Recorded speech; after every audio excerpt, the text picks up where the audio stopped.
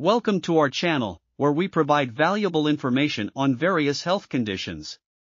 Today, we'll be discussing a common injury that affects many individuals, especially those involved in sports and repetitive activities, frozen shoulder. By the end of this video, you'll have a clear understanding of what frozen shoulder is, its causes, symptoms, and treatment options. So, let us jump right in. Frozen shoulder, also known as adhesive capsulitis, is a condition characterized by stiffness, pain, and limited range of motion in the shoulder joint. It typically develops gradually and progresses through three distinct phases freezing, frozen, and thawing. During the freezing phase, the shoulder gradually becomes more painful and stiff. Simple movements like reaching for objects or putting on clothes can become challenging. This phase can last for several months and is often accompanied by a gradual loss of shoulder mobility. Frozen phase is characterized by persistent stiffness and limited range of motion in the shoulder joint. Pain may decrease during this phase, but the shoulder remains significantly restricted in movement.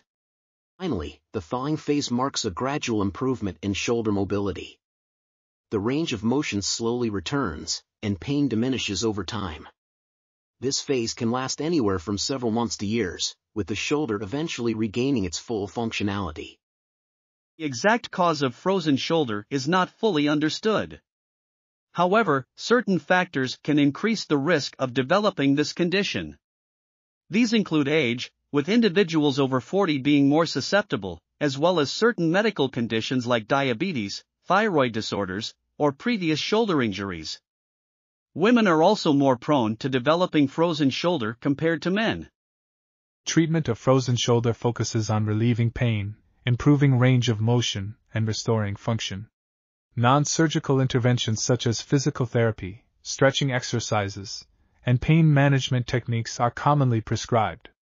In some cases, your doctor may recommend the use of anti inflammatory medications or corticosteroid injections to alleviate pain and inflammation.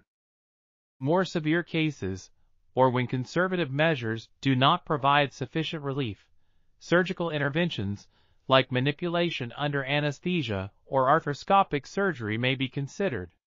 These procedures aim to break up scar tissue and loosen the tightened joint capsule to restore shoulder mobility. Recovery from frozen shoulder can be a slow and gradual process. It requires patience, commitment to therapy exercises, and adherence to the recommended treatment plan. It's important to work closely with your healthcare provider to monitor progress and adjust the treatment approach accordingly. In conclusion, frozen shoulder is a condition characterized by stiffness, pain, and limited range of motion in the shoulder joint. It progresses through three phases and can significantly impact daily activities. Early diagnosis and appropriate treatment, including physical therapy and pain management, are key to managing this condition effectively and restoring shoulder function remember to consult with a healthcare professional for an accurate diagnosis and personalized treatment plan. That's all for today. If you have any questions or personal experiences you'd like to share, please leave them in the comments below. Thank you for watching. Stay positive, stay motivated, and we'll see you in the next video. If you found this video helpful, please like and share this video and subscribe our channel.